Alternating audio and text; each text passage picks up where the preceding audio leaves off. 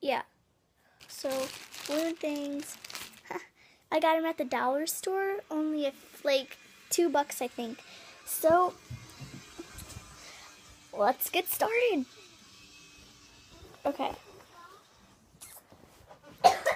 and if you want to see my little brother Timmy, I'm Not little. You're not- brother. you're not older than me. Okay, so we're just gonna be taking.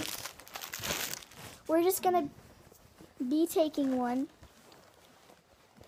And yeah. So just take one.